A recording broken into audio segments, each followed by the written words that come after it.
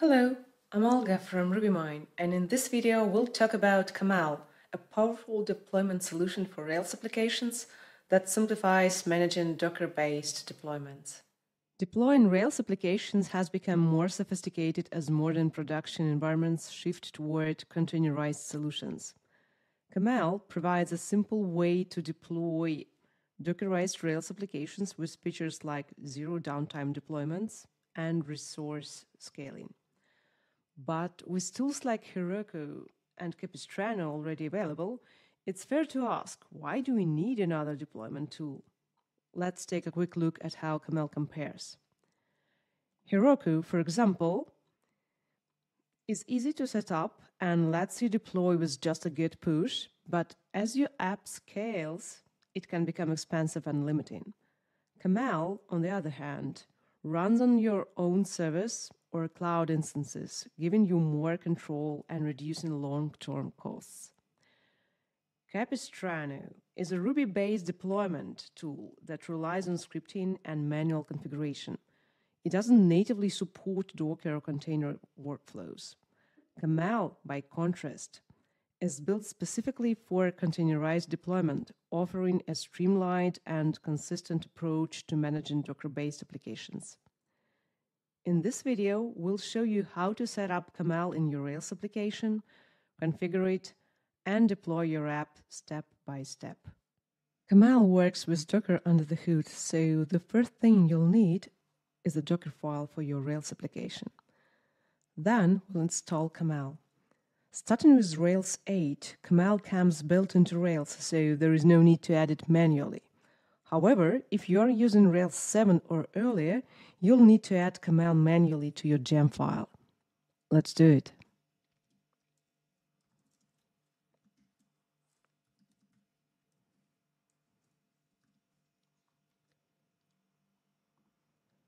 Don't forget to run bundle install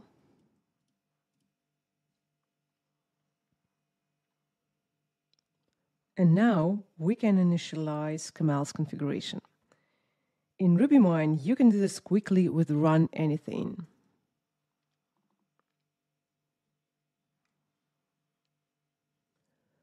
This command creates a configuration file in the config directory. Let's take a quick look at it.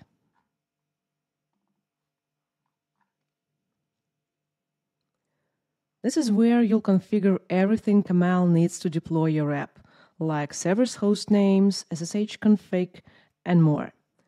For example,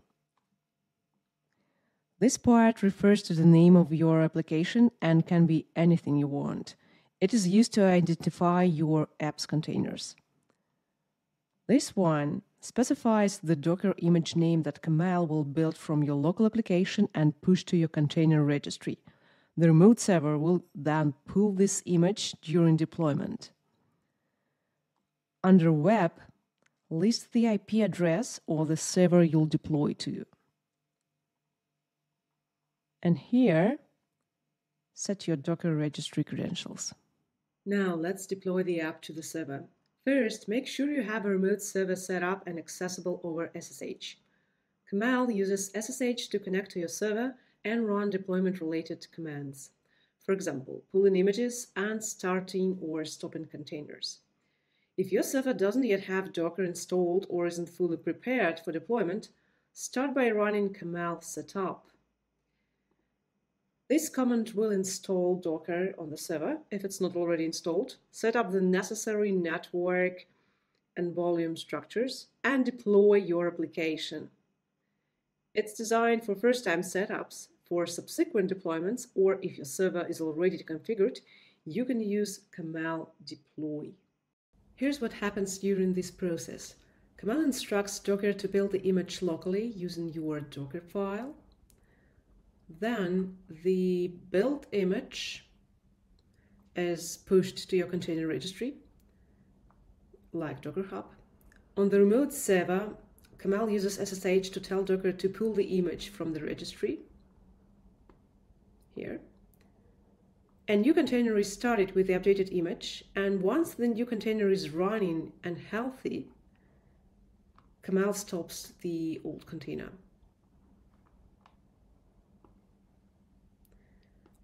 all containers and images are pruned to free up space. This process ensures zero downtime deployments by starting the new container before stopping the old one. Once everything is up and running, you can open the browser and check that the app is live.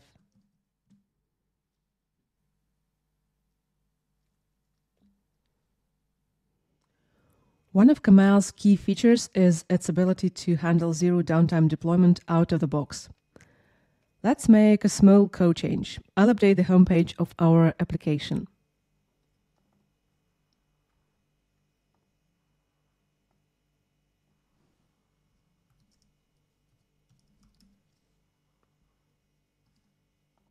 Don't forget to commit the changes.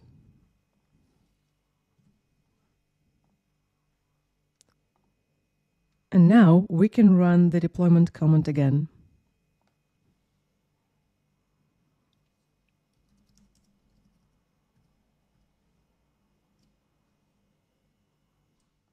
Here, Kamal handles shutting down all containers after the new ones are up and running so that there is no downtime for the users accessing the app. Sometimes a deployment doesn't go as planned. Luckily, Kamal makes rolling back simple. To roll back the application to a previous version, first you need to see what all containers are available. You can do this with the following command.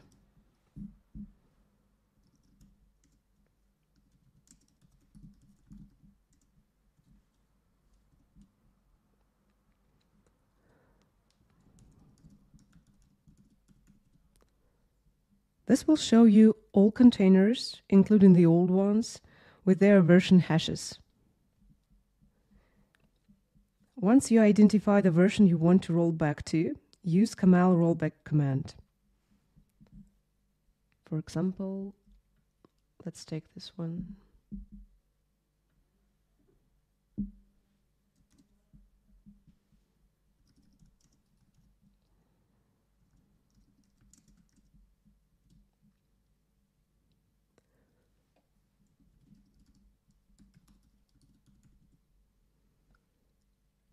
This will stop the current container and start a new one using the image from the specified version. No new downloads are needed. By default, all containers are automatically pruned after three days when you run Kamal deploy, so make sure to roll back before that if needed. That's it for this video. If you're looking for a practical and lightweight way to deploy your Rails apps, especially if you're moving away from platforms like Heroku or Capistrano, Kamal is definitely worth exploring. We hope you found this video useful. Feel free to share your deployment experiences or ask any questions in the comments below. Thanks for watching.